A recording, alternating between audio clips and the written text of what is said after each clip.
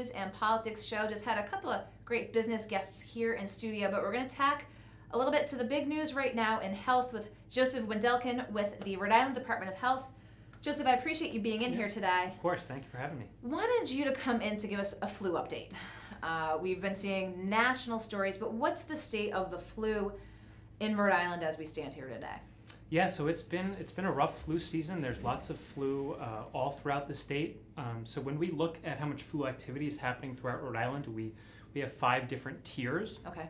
The highest tier is what we consider widespread flu. So mm-hmm. we've been at widespread flu since the uh, the start of the month, um, and uh, flu is still out there. There's a lot of flu circulating. Do we have numbers? Do we know how many confirmed the cases of, of flu there have been in the state so far? Yeah, so it's a little bit difficult to count individual flu cases because so many people have the flu. And mm. a lot of mm. times when you go to the doctor and you're feeling like the flu, you're not going to have a lab confirmed test to have, have everything sent out by the time you get it back. You're mm. going to be probably on the mend anyway. So what we do is we work with um, what we call sentinel sites throughout the state. So those are healthcare provider offices, uh, healthcare facilities that give us information based on um, the, the, the, kind of symptoms they're seeing in their office. And on, from those Sentinel sites, we're able to make a projection about what we're seeing throughout the state. Okay. In terms of really hard numbers that we see that we actually are able to count, we count um, hospitalizations and also deaths. Mm. So um, sadly, we've had 14 uh, flu-related deaths so far this year, and we've had. You say this year, talking January 118? Yeah. Um, no, I'm, I'm sorry. So this flu season. The flu so season. starting in the fall. So, okay. Yeah. Um, so, and then we've also had 532 hospitalizations so far this year. So, are we seeing are the hospitals uh, prepared to take in this influx of flu patients, and mm-hmm. uh, you know what are their concerns when they have flu patients in the hospitals? Yeah, so it's definitely uh, resulted in increased volume at some of the emergency departments throughout the state. Um, it's been the flu, and then we've also been hit by a wave of norovirus, which is another mm. um, virus that's very contagious that's resulted in some people going to the emergency departments. So we've been working very closely with, with the emergency departments to try to get the message out to people throughout the state that there are some cases of the flu that do necessitate an emergency department visit, but there are some less severe cases of the flu that you could probably take care of by just getting in touch and seeing either your primary care provider or going to a walk in clinic. then also letting people know that less severe illnesses and injuries, like maybe, say, back pain or an ankle sprain, those kinds of things don't really need an emergency department uh, visit either. So if, the, if those kind of visits aren't happening, that can lessen the volume that we're seeing in EDs throughout the state. And you talk again about the emergency room visits. You know, folks see these stories about the deaths and the, mm-hmm. the, the cases that result in that. Is there any recommendation at what point to say you really need to get into the emergency room at this point? Yeah, so there are some emergency warning signs of the flu. For example, if you're having difficulty breathing, you're having chest pain, or if you have flu symptoms, they've gone away, but then they come back and you also have a fever and a cough those are, are real real signs that you need to uh, go to the emergency department. But if people are on the fence, they're really not sure. What we always tell people is um, to call your primary care provider. Everyone should have the phone number for their primary care provider, even if it's after hours. Most offices will have a service that'll connect you to a physician. So you'll be able to talk with someone about what you're feeling, what you're experiencing, and, and they can give you uh, guidance on what the next best step is for you. Can people still get the flu shot and should they get the flu shot? Absolutely, absolutely. If people haven't been vaccinated yet, they absolutely should be vaccinated. The flu is going to be in Rhode Island like every year through the end of the spring. So if people get vaccinated now, they're going to still get several months of protection. Um, so there's plenty of flu vaccines still available. Um, every, almost every pharmacy throughout the state, you can just walk in and get a shot. So we're really trying to get the word out that if people haven't been vaccinated yet, they absolutely should be vaccinated. Has there been, you know, the news saying this shot isn't as effective with this particular strain of flu? Do you think that's dissuaded people from getting the shot? And should they still get it even if this matchup isn't? Is there ever a good matchup? yeah. Um, well, so I'll say that there's no such thing as a perfect vaccine that, that's going to work 100% of the time, year in and year out. And it's possible that when people start hearing news stories about the effectiveness of the vaccine, that might make them um, you know, have doubts about whether they want to get vaccinated.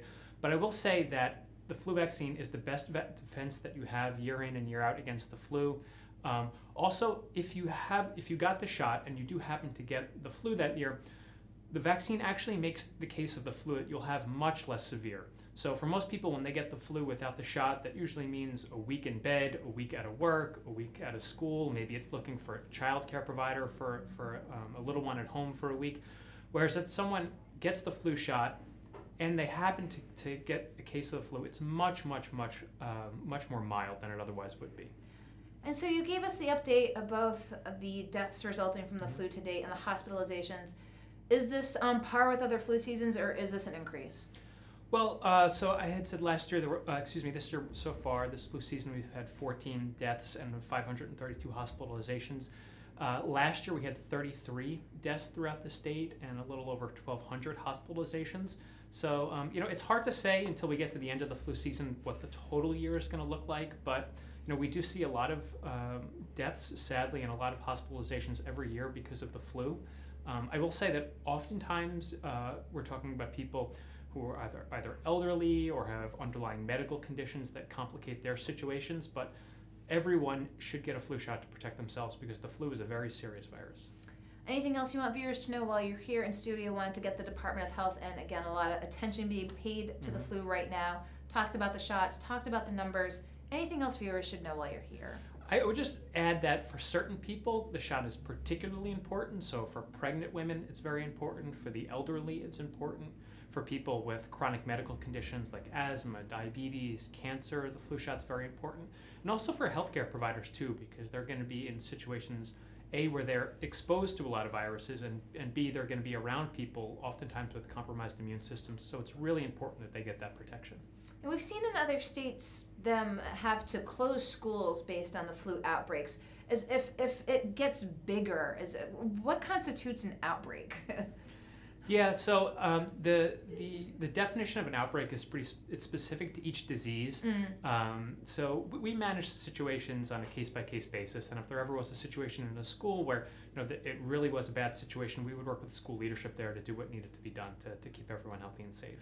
Okay, well I appreciate your taking the time to come in today, Joseph, and give folks an update on the flu. I'm sure we'll have you back in the future with other Department of Health updates here in the studio. So I appreciate your taking the time. Yeah, I love it. Okay, thanks, thanks Thank Joseph. Okay. I'll let you go around the corner and I'll wrap up here.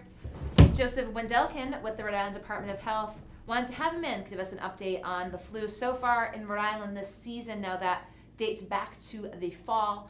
Let us know that there have been 14 deaths, 532 hospitalizations, but mentioned numbers for last year. Again, we're just at the end of January now. Mentioned that the flu season does go through the springtime, so just urging folks to take precautions and more information from the Department of Health. Appreciate him taking the time to come here into the studio. Appreciate you tuning in today here to Go Local. At 3 o'clock, we have The Taste talking about Super Bowl fare and Valentine's Day ideas. Rick Simone next week will be back with more about Valentine's Day and, of course, the Super Bowl this weekend.